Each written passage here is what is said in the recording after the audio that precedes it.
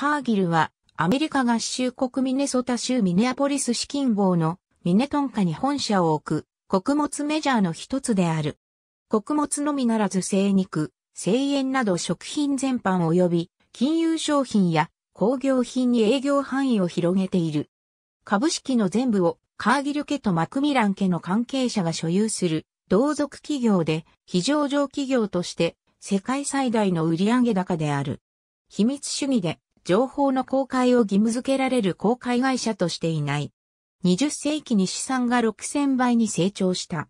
ミネアポリスにある本社は古風で古城のような外観の建物で、シャトーと俗称される。内部は一大情報センターであり、全世界の穀物の生産と消費の情報をもとに、経営戦略が練られている。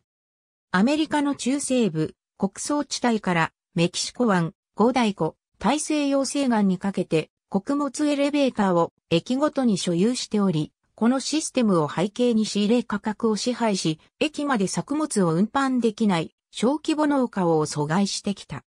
穀物メジャーは国際貿易取引を行うビジネスの性格上、石油メジャーと同様に政治と密接な関係を持つ場合がある。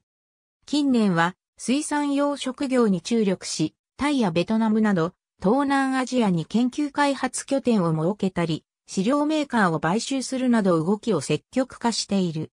日本では1956年にトレーダックス株式会社として設立され、2007年に日本の中堅商社であった東食を買収して改祖したカーギルジャパンを子会社に持つ。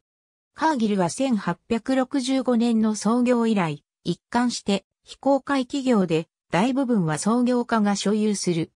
現在、創業者ウィリアム・カーギルの子孫ら100人余りが株式全体の90%を保有し、17人の取締役会に一族から6人が選出されている。